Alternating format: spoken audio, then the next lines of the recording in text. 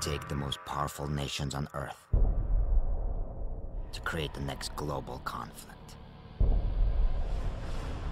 Just the will of a single man.